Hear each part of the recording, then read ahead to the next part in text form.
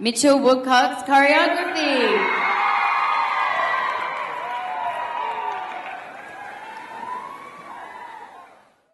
I met a girl in East LA in floral shorts as sweet as May. She sang in eights and two body chords.